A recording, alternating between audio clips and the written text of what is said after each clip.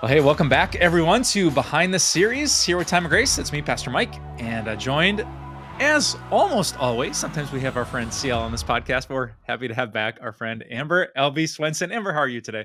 I'm doing well. How are you doing? Woo!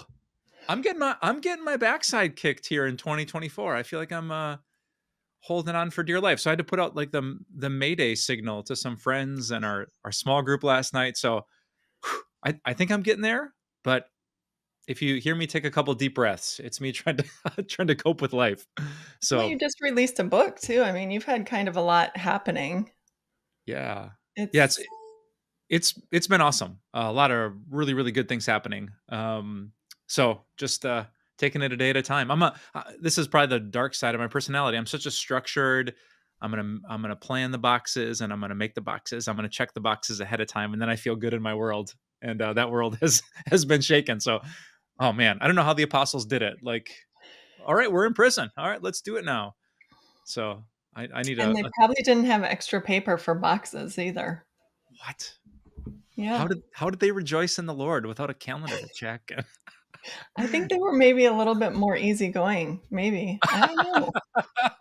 maybe Luke was like the calendar keeper, right? Like, guys, come on, we've got a chapter to get done. And... yes, I like it. He does write a very organized gospel, so I can see it. Yeah, okay. that's awesome. Awesome. And how about so, you? How about me? How's your your started out? Yeah, you know, I'm uh I'm doing okay. I mean, nothing big one way or the other. I guess big news for me in time of grace is we're just opening up registration for our women's event. Yeah. So that's a big big deal today, but you know, that work that was like a lot of work and now we sort of sit and wait like how's it mm. going to go over? People are going to register. So now it's kind of just wait and see. Yeah, so Amber, uh, tell us a little bit more about this women's event. Yeah, so it's called Unbreakable Finding Strength in the Storms. And we just really have this desire to connect Christian women together, to have a place where they can become a community, really look to God. Um, we have great female speakers coming in and one brave male speaker coming in. Pastor Jeremy Maddock is coming to do evening devotions, evening encouragement devotion with us. But the idea is just to really develop a community of women uh, around some of the time of grace female bloggers and myself and some of the people I've had as guests on Little Things. So we're super, super excited about it. It's happening in April, and there will be a link in the episode notes that you can click on to register. Yeah, I love it. My uh, my good friend, one of my best friends, Missy Martins, is going to be there as oh. a presenter. So she was telling me a little bit about it at a yeah. a friend's party the other day. So uh, she's excited, and I'm excited for you. Thank you. I'm super excited too. Yeah.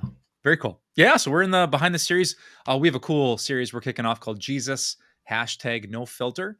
Uh, it's mm-hmm. on the mm-hmm. Gospel of John and some of the crazy things that Jesus said. So, what do you think? Should we dive in? Please tell us the big idea. Yeah. So I was studying the Gospel of John, and it's it was so interesting to me that John is famous for talking about love. Um, God so loved the world, you know. Here, as I have loved you, the Father has loved me. So love one another, like kind of famous John. But when you mm-hmm. actually read the messages of Jesus and John, they are incredibly like offensive. Like if you were an empathetic person and you would have been in the crowd, you would have been like, "Oh, no, no, no, no, no, no, stop saying that. But Jesus, like he he pushed the truth side of things so hard. He was so exclusive with his claims for truth. And at the same time, he was just incredibly inviting, forgiving, loving, comforting.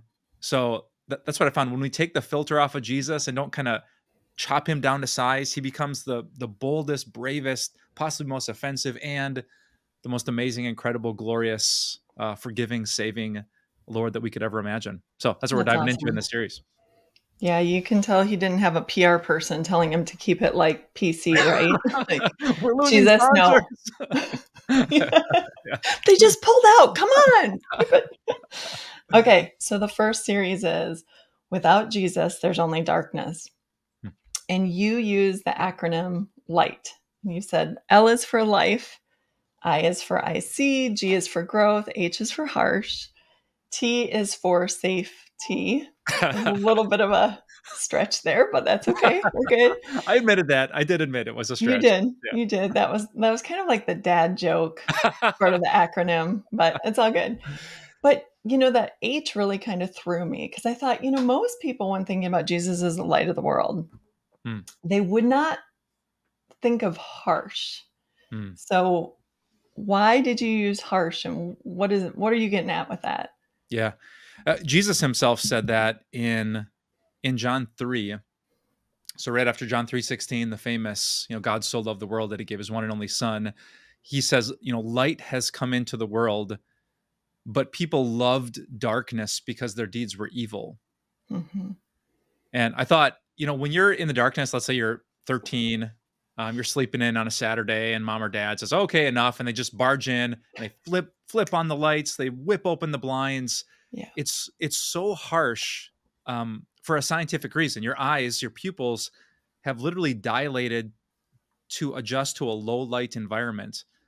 And so if you get lots of light flooding in, it, it actually hurts your your body. It's harsh on your brain.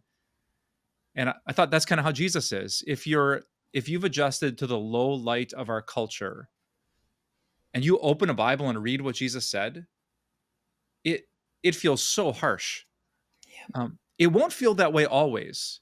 Like once you adjust to the bright light, the the sunshine of the word of god it, it won't feel that way. But in the beginning when you hear about nope you're a sinner. What? I've, I've been told my whole life that i'm special and i'm wonderful and i'm deserving of love. No you deserve hell what yeah and in marriage uh, it's not a 50-50 compromise it's husbands love your wives as christ loved and he sacrificed so much for the church and wives submit your husbands in every what if it, the way we should forgive people, the way we should serve people, the what, what we should do with our money, all of it, if it's brand new to you, I, I can't blame you. It feels so harsh. And it's because not Jesus is bad, but because Jesus is light. I was just talking to a friend this morning and I was telling him that we, I think as Christians do a disservice because we expect people to catch on to this so much faster. Mm. What you just said is so true. Like we start talking to people as if they understand where we're coming from. Yeah. Right. But if you've lived in in the ideology of the world your whole life long and the Bible's totally foreign to you, hmm. all these all this jargon that we throw around, like you said, even the word sinner, you know, you need a savior, you're a sinner. If you've never heard that before, I, what are you talking about? Why would I want anything to do with what you're saying, you know? Yeah. Yeah. And so I love that you brought that out because this is huge. And I think it's important for us to remember because when we talk to other people in the world, hmm. it is initially pretty harsh what yeah. we're saying. Yeah. Yeah. Prepare Which, them for that or di- dimmer switch a little bit of like, all right, this is going to sound crazy, but hear me out. Like just preparing people for that moment instead of just barging into the room and flipping open the blinds. Yeah. So I think that, I mean, it's, good that we're following up this with safety then, because why mm. safety when you're talking about Jesus being the light of the world? Yeah. Where's the safety? Yeah. So I'm super close. I don't think I told you this, Amber. Um, the musical Les Miserables is coming to our community. Oh. And is I've I've always been a musical guy. It's my favorite musical of all time. Nothing nothing makes me cry like Les Mis. And I decided on a whim about a month ago, I'm gonna buy the book. So. I bought Victor Hugo's Les Miserables. It comes 1,202 pages of very small print. so I'm, last night I got to page 1,151. So I'm in the home stretch. I'm going to finish tonight. Wow. And uh, last night I'm reading about, um, yeah, don't have time to tell the whole story, but Jean Valjean, kind of the hero whose life has been changed by forgiveness and mercy. He's he's carrying um, the wounded what boyfriend of his kind of adopted daughter through the sewers of Paris, and it's like 50 pages because the sewers are so dark and there's like these pits of just like quicksand that suck people in to die. And he he can't oh. see if if he's going to step on concrete or sand. And um, you know victor hugo is just a master. He brings out when you can't see something when you can't see what's in, in front of you or above you or beneath you, every single step is so dangerous. Yeah. And so when we say Jesus is the light of the world, yep, it, it's harsh. But when I walk on a sunny day, I, I see where I am. I see if there's a car coming. I see if I'm going to run into something. I see if there's a pothole in the ground, and it keeps me safe. Yeah. And so um, Jesus is just so profound that way that um, he gives us the whole truth and turns up the light because he loves us and he, mm-hmm. he wants to keep us from danger and falling into the the pits of condemnation and despair. It's beautiful. Did I tell you that I got chased on Thanksgiving? no, tell me more. Chase? I was walking. Yeah, well, you talking about walking through the sewers? Yeah. I was literally walking through my neighborhood because, like everybody else, I ate too much on Thanksgiving. yep. But it gets dark super fast now, right? Yeah, sure. So it was maybe six or seven o'clock at night. It was it was not late. And I was walking through my neighborhood with my 18 year old, and it was kind of chilly. So we both had put our hoodies up and we walked by a house, and someone looked out their window at the same time that I was, you know, walking by. So I just kind of looked at them, they looked at me. And I said to my daughter, Isn't that so weird that we just like locked eyes? And all of a sudden, three guys came out and started chasing us. What? Yes, I'm not kidding. And so, like, they're yelling, "Hey, hey, get back here, get back here!" And I, I, we had just turned a corner. I'm like, "Do we run? Do we stop?" So I'm like, "We're stopping." I'm like, "Hey, what's up? Like, what's what's going on?" And they're like, "Were you going through our garage? Were you going through our cars? Were you?" And I'm like, "We we just got done eating supper. We're just taking, like we live here." But what you said, like in the light, nobody would chase an almost 50 year old woman, right? like looking like she's definitely going through my stuff. But in the dark, with my hood up, it can get dangerous fast. So. I'm picturing you. Maybe you're just a super smart thief, and people knew you put the hood down. You're like, no, I'm just a, I'm just a mom. I would never steal your stuff. I totally went into mom mom mode then because they were like 20 years old. I'm like, dude, you need to be a good neighbor. You can't just be chasing people down the street. Like, I could have fallen. I could have fallen.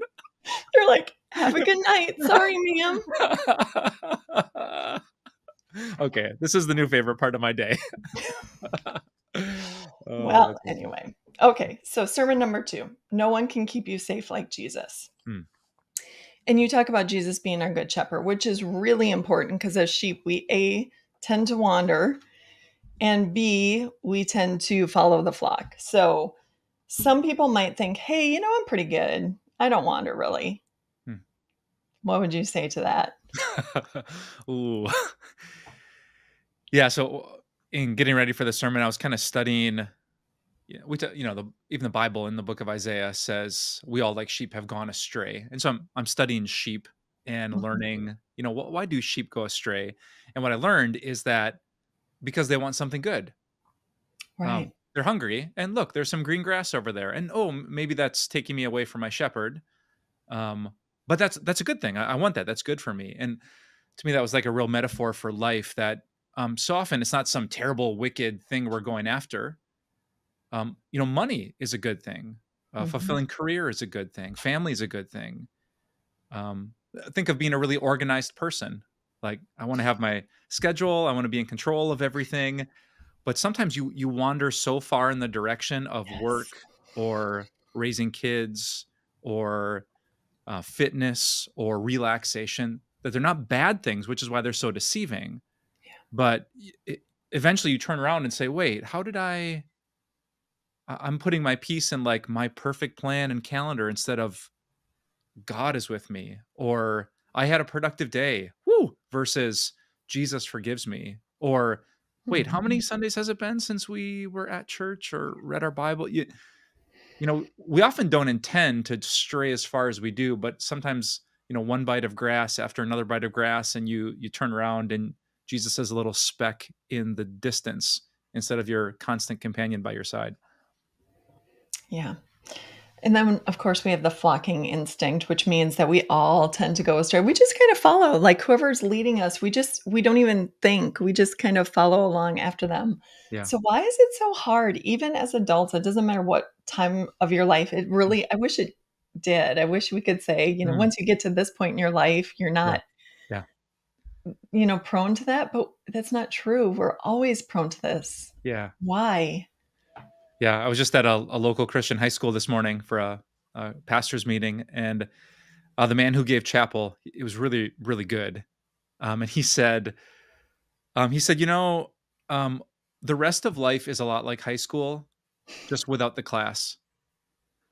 There'll still be kids whose approval you want. There'll still be popular people. Yeah. There'll still be temptations. There'll still be work. There'll still be frustrations. Like what you're experiencing here, you're kind of confined to this school and this forced schedule. But he said, really, life is more like high school than you think. And I thought that when I, I heard your question. Like, we deep within us, we want to be liked, whether we're a high school freshman or in our 40s or moving into a retirement community or a nursing home. Um, and it's really hard because, you know, when God likes us because of Jesus, he likes it when we do God pleasing things, but we can't see God smiling or giving us the thumbs up. What we can see are people. Yes. and it's so hard to walk as sheep by faith and not by sight because I, I, can see my buddies nodding and smiling and clapping. Yes. But I can't, I can't see Jesus doing that. And so that's why we're so prone to wander because I, I want approval. It's hard to remember that I have it in Christ, but it's, it's very easy to see when I have it in people. Mm. the tension of people pleasing and giving into the crowd. Yeah, that's huge. It was a big shock to me. That was one of the things that I learned at the nursing home that I still saw that at the mm. nursing home. Mm. That people could be so easily influenced by their peers mm. for good or for bad, you mm. know, and that wow. you just try. I mean, you never would. You'd never be in this situation to do it, but you actually try to like switch somebody from their table where they're eating at once, you know, like you say, Hey, so and so is alone today. Can we move you over there? No, I've always sat here. I sit by her and I sit by her and I, I know, but she has no one to sit by her. I know, but I sit here. Wow. Yeah. It's, it's the same no matter yeah. what age you're at. You're always wow. with your peers and wow. looking for yeah. their approval. Yeah. Can I say real quick? Uh, yeah. You know, that Jesus is the good shepherd. What a profound thought that despite the fact that we wander and despite the fact that we, you know, have this flocking instinct that the good I love that line, the good shepherd lays down his life for the sheep. Yeah. Which if you've never read the Bible, that that sounds insane. I mean, can you imagine farmer dies for his cows. Farmer jumps in front of semi truck to save cow. You'd say, "What? No, the cows are for your consumption, for your use." Yeah. And so when Jesus tells it, I, I wonder what people like their expression when he said that. Like, what shepherd would ever? The shepherd's more important than the sheep. What? Sh- there's only one shepherd. There's a hundred sheep. Why would you sacrifice yourself? And so, just the profound selflessness and love of Jesus to do that for us. We are the lesser, and yet He sacrifices the greater. Man, what a what a Jesus, huh? Yeah, so true. Hmm. Sermon number three connected to Jesus, you will grow. Hmm. This sermon talks about three crucial moments that we all face confusion, condemnation, and temptation. Hmm. How can following Jesus be confusing? Ooh, yeah. So this comes from John 15, which is the parable of the the vine and the branches. Mm-hmm. Um, and he says, you know, those that my father loves, the, the good branches, God prunes them so that they bear more fruit. And that's the confusing part. You, you would think, hey, if I'm connected to Jesus, if God loves me, He wants to bless yeah. me, then He would He would prevent pain. Um, right. Um, he wouldn't prune me. Pruning is like a cutting back what's living and good for the sake of something better that we can't yet see. And wow, how many times haven't we said, God, why are you doing? Why, why are you? Mm-hmm. I'm praying about this. God, are you not listening to me? It's so confusing when you think, if you love me and if you're powerful, then why this? Why this struggle? Why this cancer? Why this autoimmune? Why this anxiety? Why fill in the blank human struggle? Um, so I, I love. I mean, we see it in nature. We see it in our own bodies. No pain, no gain. We we know when we're raising kids, they got to go through tough times to grow in character. But sometimes when you're an adult, you forget and you think, okay, now is the season of life where all the gain comes without pain. Mm-hmm. And Jesus says, no, no, no. The the best branches they grow the most fruit when we prune them and cut them back. Yeah. So he's, he's cutting back on the confusion i think by reminding us how growth happens in nature and how it happens in life. And look at the apostle paul. I was reminded of this the other day because i was having a conversation with a friend who was talking to me about prayer and he was saying, "Oh, Jesus healed everyone," and I'm like, "No, he didn't heal everybody." and he's like, "No, he healed everybody. Like everybody who came to him was healed." And I'm like, "Yeah, but he left places, you know." And then Mm. anyway, eventually I got to. I'm like, "But what about the Apostle Paul? And my grace is sufficient to you." I mean, Paul even had good reasons to argue with God. Like I could do so much more. If you would just, I mean, like, you see what I'm doing here? Like, I could do more. Yeah. Just give me what I'm asking because I think I can serve you better. And God's like, Mm. no, Mm. I get that call. And the answer is Yeah. no. My Mm. grace is sufficient. Wow. Yeah. Painful. Yeah, Yeah. so true. I think of Paul. Lots of my favorite writings of Paul come from the time when he was being pruned, sitting in a prison. Oh, You know, he's so fruitful. He's carrying out these missionary journeys. He's killing it, and then he gets arrested and he sits for years. But God kind of knew, oh, Paul, you don't know, but six months from now, the Spirit's going to come into your heart, and Philippians is going to happen. Yeah. And give it a little bit of time. If you know, it's by grace that you've been saved. Is about to come out of your pen, but he couldn't see that at the time. It was just the pruning of his imprisonment. So, man, it's it's easy when it's Paul. It's really hard when it's me. So. totally God. agree. I would love to only be able to use examples from the Bible. For the rest of my ministry, my life is good. I'm just going to use all these poor suckers in the Bible who didn't get what they want. That's yes, so true. that's not how God works. Okay, so it can seem hard to deny ourselves with all these temptations. Like you were saying, you know, the temptation is to always the greener grass, right? I want more finances, more, my marriage to be just so, all this. So, why should we remain with Jesus when we're just struggling to survive? Like you're going through the temptations, you're working through the addiction, you're staying faithful in your marriage the day after day when it's hard and it feels loveless. And you're saying, remain in Jesus. like, why? What what hope do we have there? Yeah. Um, Jesus said it first, so that's my defense. He uh, in John 15, that's his repetitive word: "Remain in me, as I remain in you. If you remain in me." So that's kind of his stay connected. Uh, don't detach yourself from the vine and try to be an independent branch. A- And I could maybe give a kind of a harsher, blunt, truthful answer to that question, and then maybe a more inspiring one. My blunt one would be because if if you disconnected a branch from the trunk of a tree in your front yard, the branch would not be very happy very soon, Right. right? It would have more freedom. It could, I know, with a strong enough wind, it could explore the whole front yard, but very soon it would be very thirsty, very dry, very dead. Um, and Jesus says, you know, maybe this world could be easier for you if you weren't a Christian, but if you didn't have me, you wouldn't have forgiveness, you wouldn't have heaven, you wouldn't have hope, you wouldn't have eternity. Um, it's very small what you have to suffer compared to what you're going to gain, even if you can't see it yet. Um, and then maybe that's the inspiring part of it is, is Jesus says, "Hey, it's not easy, but you're with me."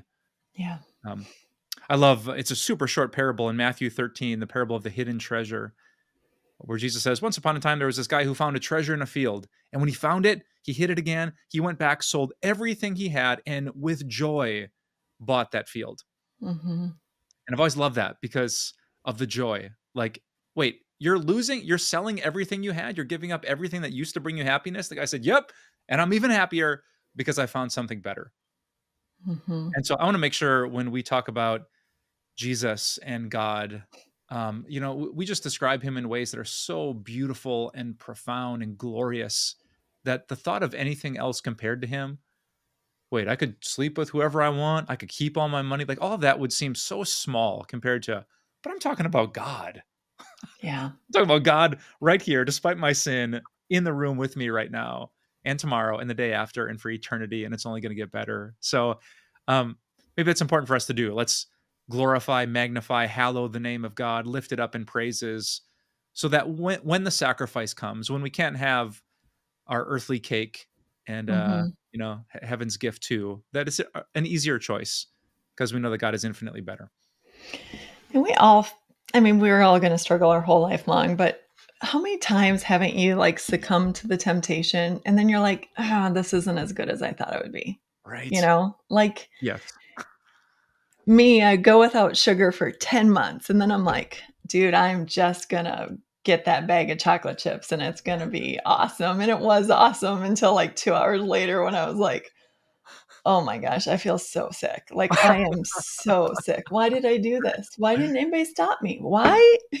right. like yes. so many times this the temptation in the moment feels like it's going to be the best. Yeah. But it doesn't take long and you get bit like so soon afterwards. If we could only remember yes the way that bite feels. Yes, the short-term pleasure and long-term yeah. yeah. Hey, I just used that the other day. I gave that to someone. She was very thankful. Nice. I think I might be responsible for a tattoo soon on her wrist. So anyway, Let's which go. you are responsible for. I stole it from another pastor, so yeah. yeah. Okay, sermon number 4. Jesus is the only way. You talk about the five areas in our that in our lives that can affect us all mm-hmm. pretty pretty profoundly. Mm-hmm. Family, friends, fitness, which is our physical um, health, finances, and faith. Trouble in any one of those areas can throw us off, but so often it's like the domino effect where it's like your health mm-hmm. goes, which impacts your finances, which impacts your relationships. Mm-hmm. I mean, it's like the whole ball of wax, you know, like they yeah. say, when it rains, it pours. Yeah. How does Jesus help us when everything is chaos? Mm, yeah. Uh, you know, obviously following Jesus doesn't make all the the pain of this world go away. Um, I sometimes picture Jesus. Have you ever swam in the ocean before? Yeah, love to. You know, you, you get out to the point where your feet can't touch anymore, and then the waves come, and it's uh, that can be scary because yep. it's it's deep. I'm in over my head. Yep. I I think of Jesus almost like he gets you back to that spot where your feet can touch on something solid that doesn't move, and the waves still come, and sometimes they come with force but if my feet are on the ground i'm not just like floating in the yes. chaos of oh my goodness of sheer panic so same water same waves but if you can touch ground i think that's what kind of faith is is just setting my feet down in something solid like okay god is god is here god is for me god is with me um, god's working through this god is going to use this god's going to end this suffering so mm-hmm. just these promises so we can you know be still he's God. He's my rock. I'll praise him. So yeah. the, the waves might still be coming, but I'm okay because I got Jesus. Okay, so you talked about believing towards God. Hmm. And I love that image because we usually are looking towards our circumstances and hmm. all the chaos. So why do you tell us, guys, I know that's the temptation, but you got to look towards God. Yeah. Yeah, so one of the in the Greek original language, the phrase believe in sometimes the preposition is uh, it's the preposition eis, which means towards something or with the end goal of something. So if they were walking to jerusalem they would say they were walking eis, like t- towards in that direction. And uh, jesus uses this phrase when he talks about faith that it's not just faith uh, in although sometimes that phrase is used. Another variation is faith towards something. Hmm.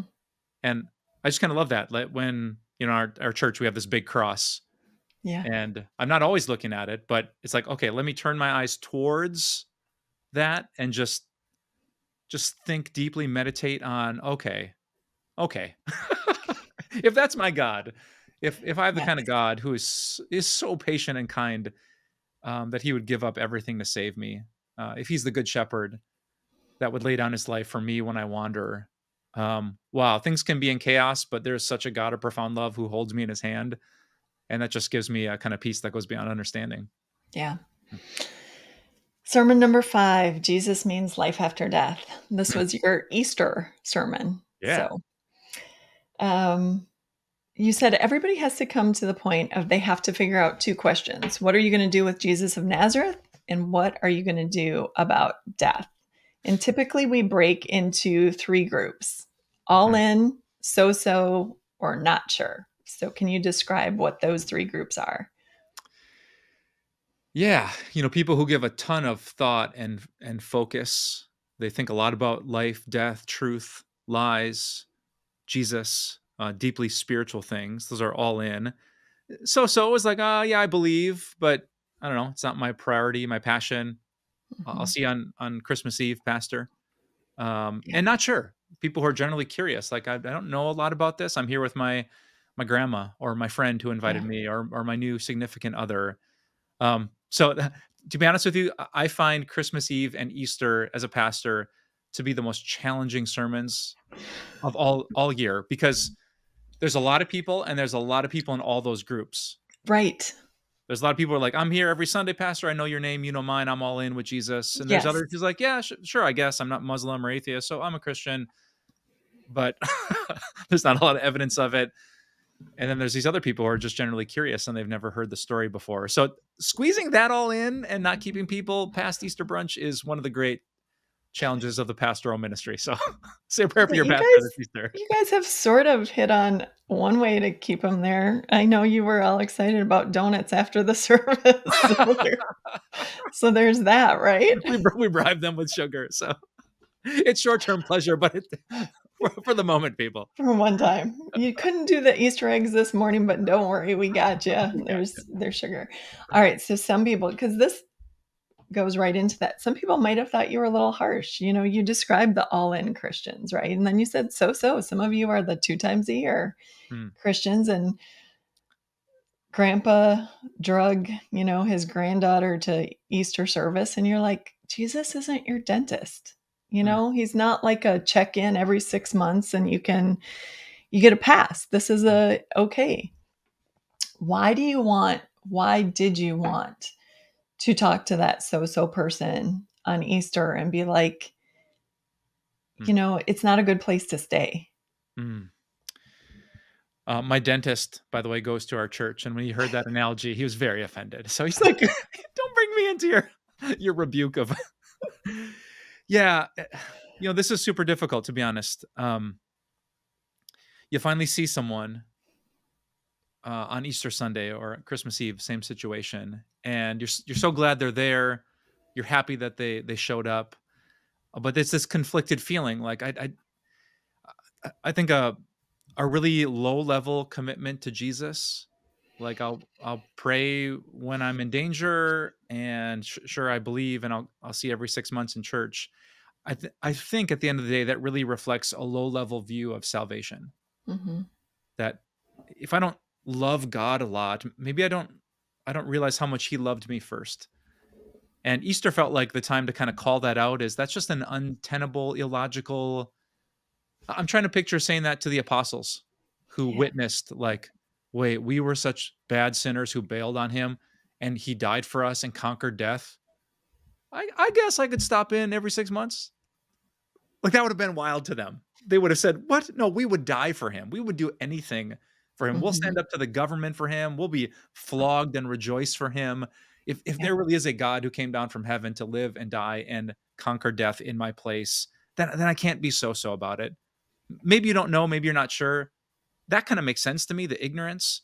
But to to know a God who gave up everything that we could have everything and just kind of like, cool. I'll click the like button. like no, like we we, we got to shake ourselves out of that kind of common American sort of non-practicing Christian. That no, he he calls us to Mhm. something more because his love is so much more. I've said it for years, and there's nothing biblical about this, but I think the most common phrase said at the throne of God is, I was going to. Mm. I was going to get around to following you. I was going to get around to making that a priority. I was going to, Mm. but we just take it for granted that we have a lot more time. And Yeah. so we just, you Yeah. know, especially young people, like, eh, Mm. yeah, I'll get there. You know, when I have kids, I, Yeah. I definitely want to go to church when I have kids. But right now, I mean, Yeah. you don't know how much time you're going to have on this That's true. earth, you know? No relationship you, should be put aside like that. Yeah. So, what's so, uh, your. real quick, sorry. just to save myself from the the Pharisee temptation is to think, well, I'm in church every Sunday. I'm not so-so. Yes. But- oh, but there- good. yeah there are other ways to kind of you know not pursue jesus's radical command to love and forgive and be kind and patient and generous um so i think the more we turn up his glory and sacrifice the more all of our commitment kind of rises um with that as too so I- i'm guessing all of us will have something where like yeah you know i've kind of gotten shrug of the shoulders with that part of the christian life Um, Yeah. but man we have a, a savior who died on a cross and conquered the grave and we're gonna get to celebrate that again this year and uh, let's uh, let's love the way he first loved us. Awesome. All right. So, what would you say to the person who's on the fence?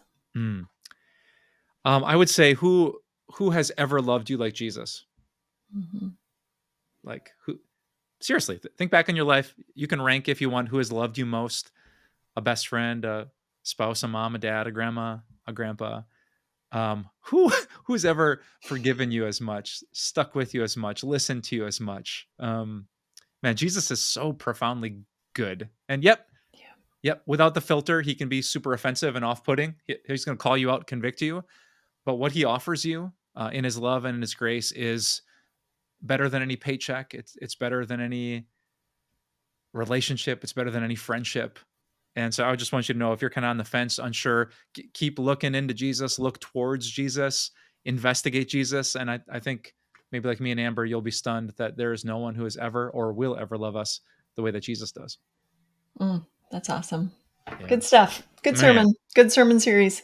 Yeah, I was. This was a. I, I remember preaching this live, and this was this was good. It was just qu- quiet at all the right moments and like, yep, heads nodding. I almost forgot how great Jesus was. And this was just week after week. John's gospel is so good at that. So yeah, I enjoyed it too.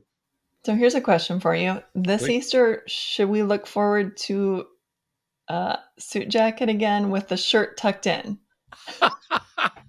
or is that a one time? Is that is that once a year or is that a one time only or I tucked in my shirt last year? You did, and you made a point of it. You made sure to show everybody and you know said this was the one day you were gonna tuck in your shirt. So just wondering if you're still you you, you had know, forgotten that. So you probably wouldn't have done it now this Easter.